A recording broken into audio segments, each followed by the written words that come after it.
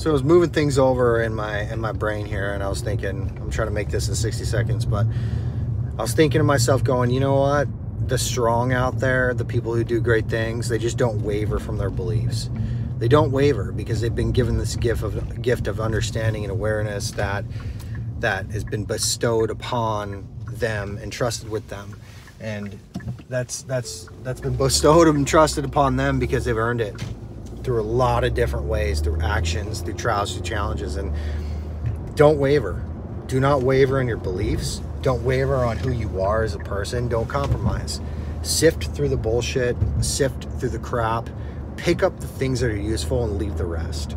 That's my short for the day